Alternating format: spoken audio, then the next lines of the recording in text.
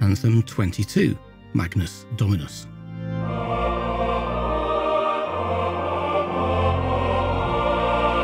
Welcome to Anthem 22 in my attempt to write a new choir anthem every week for a year. I'm Kevin Mulryne, and I hope you will enjoy listening to my progress throughout 2024. Please do visit the website anthem52.com, follow along on x.com at realanthem52 or Instagram, also at realanthem52, and send me a message to show at anthem52.com. I hope you will notice a marked difference in the sound of the anthem this week. A strange confluence occurred when I went looking for choir plugins that incorporated actual words, not just generic R or OO sounds. Firstly, I found one almost immediately that looked great, and secondly, it was on offer for 60% off. Thirdly, after some recent invoices of mine for audio editing work had been paid, I was in the position to just about afford the plugin. It's called Hollywood Choirs by EastWest Sounds. The name is perhaps slightly off putting, as I'm not sure the Hollywood blockbuster style of choir would necessarily fit my anthems too well, but in fact the plugin has a huge range of moods and modes. It's highly configurable, so there will inevitably be a steep learning curve for me, as they say. But without doing any tweaks at all, the voices are much better than the previous choir plugins I have used. However, the joy of the plugin is that you can indeed program it to sing words. It has a feature called Word Builder, where you can type in words in English, phonetics, or its own system called Votox. The choir has been recorded singing many hundreds of sounds, and the software is pre programmed to blend these together to make recognizable words. It even has the capability to sing in a range of European languages, including Latin.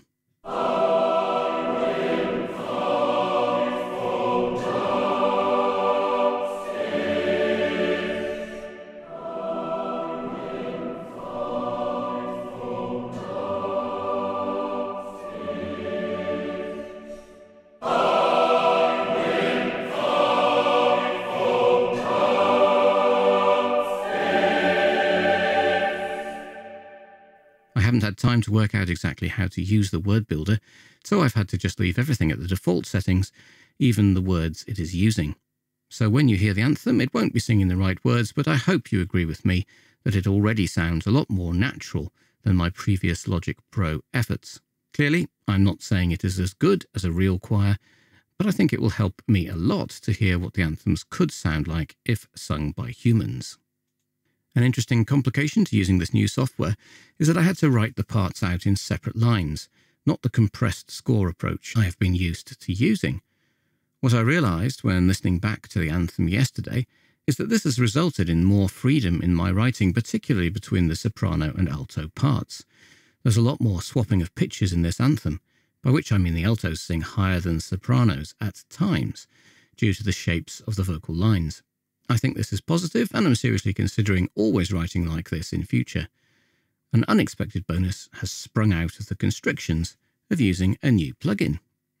As for the anthem itself, I chose another of the psalms set for this week, XLV111, 98. I only ended up using the first couple of verses and the last one. Here are the words Great is the Lord and highly to be praised, in the city of our God, even upon his holy hill. For this God is our God for ever and ever. He shall be our guide unto death. It ended up being in C major after I had to lower the pitch, and I threw in a key change to A major, just to see what would happen.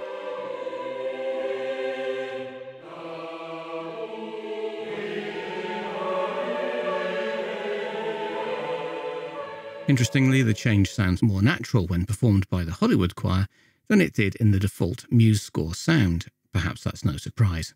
There is quite a lot of movement in all parts, and I tried out delaying the resolution of cadences, which gives an intriguing sound, I think.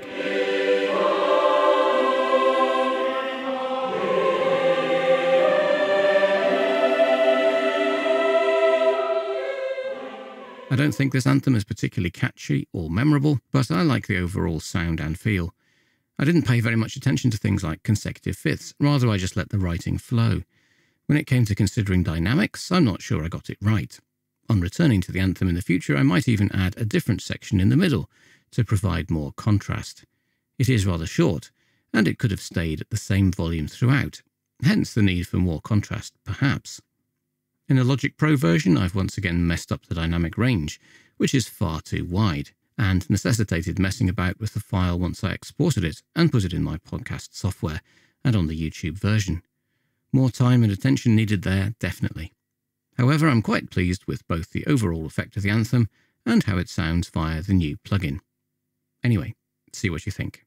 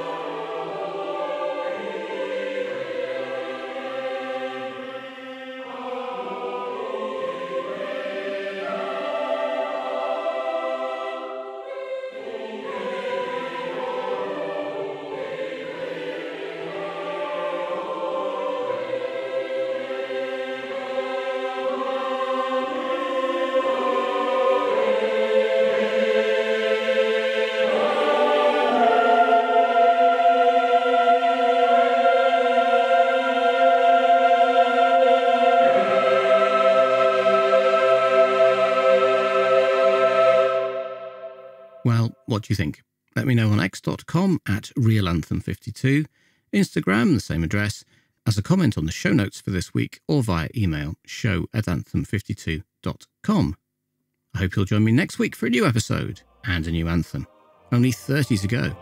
But until then, the question remains will I make it to Anthem 52?